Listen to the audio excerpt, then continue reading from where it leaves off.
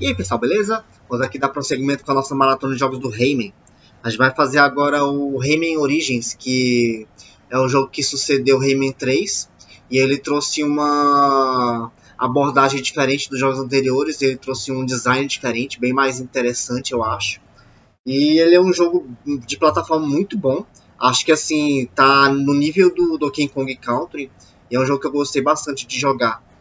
Eu vou jogar aqui a versão do PC, que eu peguei pela Epic. E vamos passar aqui a história do jogo para poder começar então. A história desse jogo conta com os, com pormenores e a origem dos primeiros tempos de Rayman.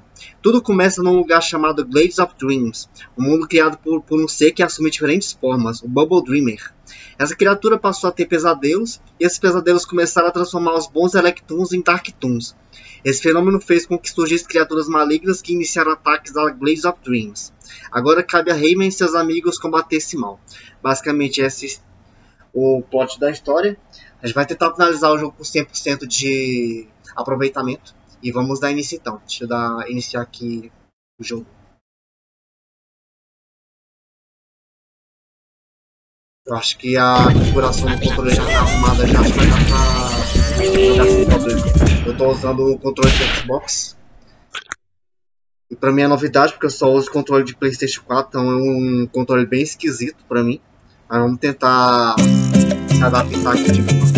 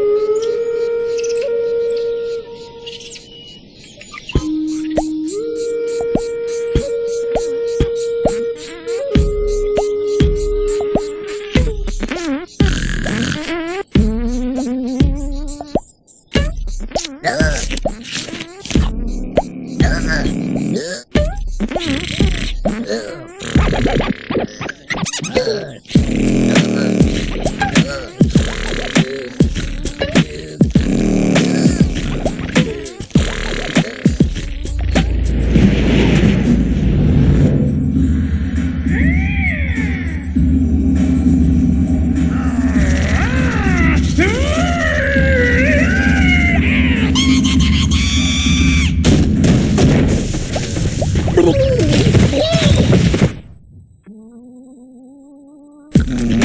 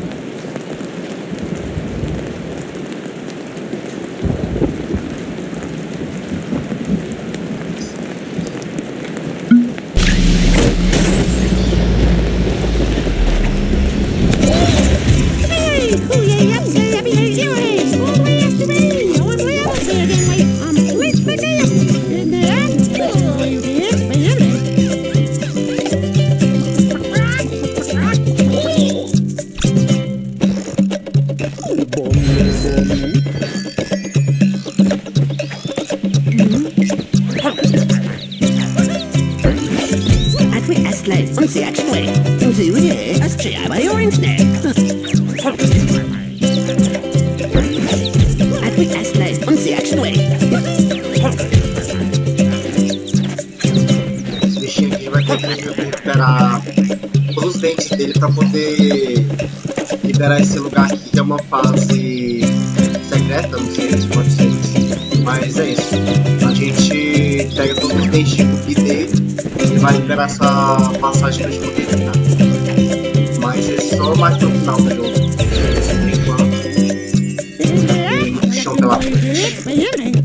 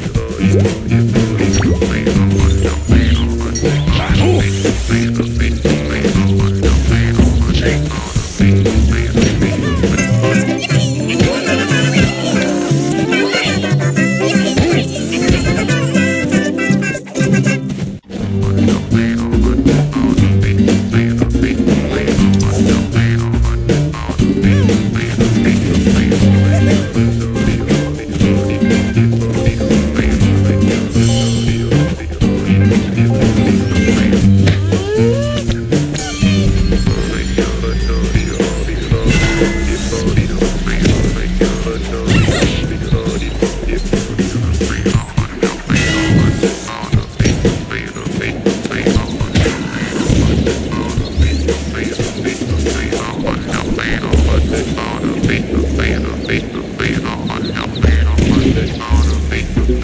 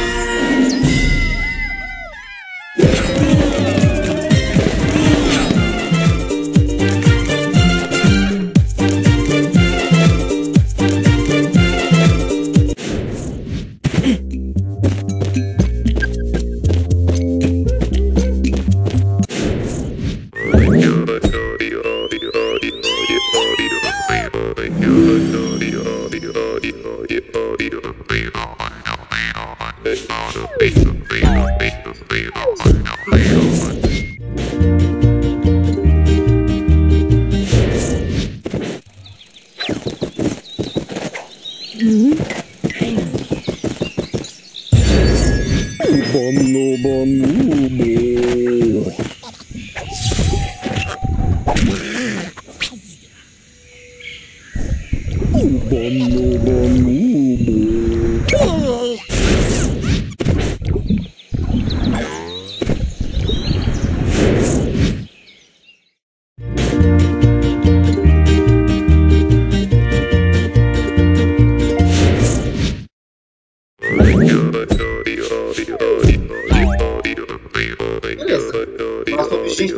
Jason Blowout. Então é isso. Falou por assistido e até a próxima.